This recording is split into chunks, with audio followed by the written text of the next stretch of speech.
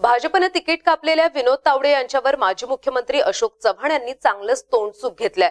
विनोद तावडेंसोबत नियतीनंच विनोद केलाय. आता त्यांनी लवकर काँग्रेसमध्ये यावं मी तिकीट देतो असा खोचक सल्ला अशोक चव्हाणांनी दिलाय. तिकीट कापलं जाण्याच्या काही दिवस आधी विनोद तावडे नांदेडला आले होते.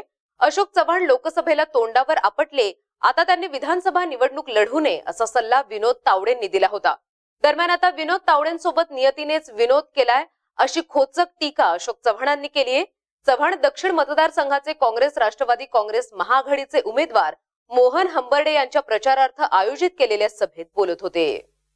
आमचे भाजपमधले एक मित्र विनोद तावडे. नावच विनोद आहे त्यांचा विनोद झालेला आता.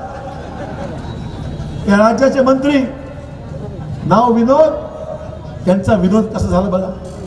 नांदेडला आले नांदेडला सल्ला देत होते की अशोक चव्हाणांनी निवडणुकीला लढू नये मी आता. मला निवडणूक लढू नको म्हणणाऱ्याची अवस्था अशी झाली की त्यांनाच तिकीट मिळालं नाही. हा मोठा विनोद आहे. हा मोठा विनोद आहे की मला निवडणूक लढू नको म्हणणाऱ्याला स्वतःलाच तिकीट मिळत नाही. असा नियतीने विनोद केलेला आहे. आणि म्हणून विनोद भाऊ मला फार दुःख झालं की तुम्हाला तिकीट मिळालं नाही. लवकर या काँग्रेसमध्ये तिकीट देतो मला काळजी करू नका.